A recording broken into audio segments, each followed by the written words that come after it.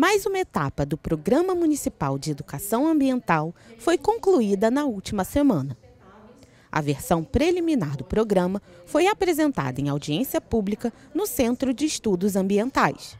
Nós estamos dentro de uma área verde maravilhosa, nós temos 80% de mata atlântica. Então a gente precisa saber lidar com esse meio ambiente. Nós temos um ambiente marinho, terrestre e nós não sabemos efetivamente como lidar. Então esse plano ele vem para isso, para ajudar na construção na elaboração e, e levar isso para dentro da escola, para as comunidades, para todo mundo, porque o programa ele não é único do município, ele não é do IMAR, ele não é da prefeitura, ele é de toda uma população. O programa está sendo elaborado em conjunto pela empresa ME Engenharia Ambiental e o Instituto do Meio Ambiente de Angra dos Reis, o IMAR. Na audiência, todo o processo de construção do programa ganhou destaque. Então, hoje nós estamos apresentando o programa para a comunidade, para a sociedade, para todos que vieram participar.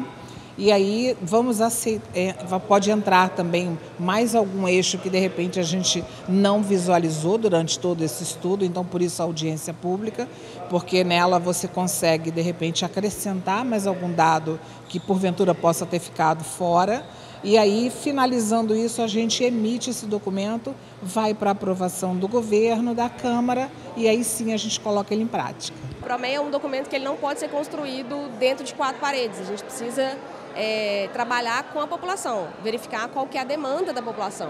É, como eu comentei durante a, a, palestra, a gente, eu sou de Belo Horizonte, então assim, eu não tenho é, vivência aqui no município.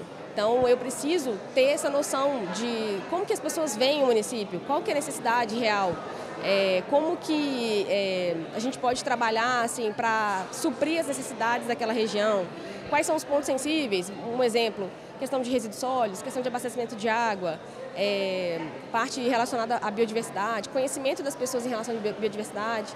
Então é dessa forma que a gente faz essa, por isso né, que a gente faz tanto as oficinas quanto a audiência pública para poder ter esse contato direto, né, essa aprovação direta das pessoas pra, com relação ao nosso, ao nosso documento. Após a apresentação, o público contribuiu com perguntas e sugestões.